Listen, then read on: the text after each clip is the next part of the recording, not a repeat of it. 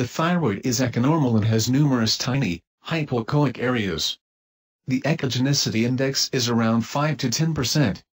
The interpretation of this pattern should not cause any problems. This is one of the most characteristic presentations of Hashimoto's thyroiditis.